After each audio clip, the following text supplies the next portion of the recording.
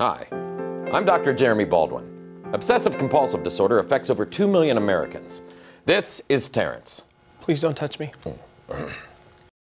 Obsessive compulsive disorder affects over 2 million Americans. This is Terrence. Please don't barely touch me. I'm, I'm- but I'm not touching you. I can feel the heat of your hand. 2 million Americans. This is Terrence. I've struggled with OCD for over 20.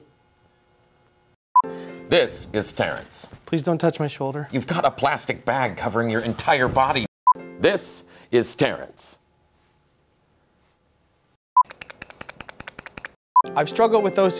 His shoe is untied. It doesn't matter. Sir, your shoe is untied. He touched his mouth. Look, that No, light it's might gonna be fall. okay. He just ate a piece of cheese. You've got to be He just kidding. Sus- God, I need a minute. We've been here for almost 18 hours. What are you looking at, huh? Your beard.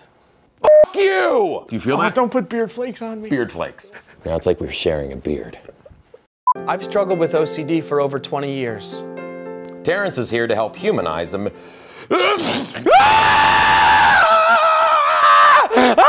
no, no, no, Terrence.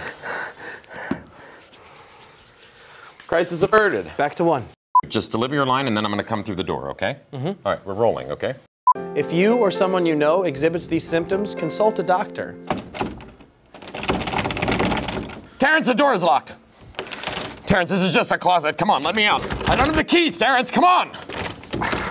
Oh my God. The walls are closing in on me. Terrence!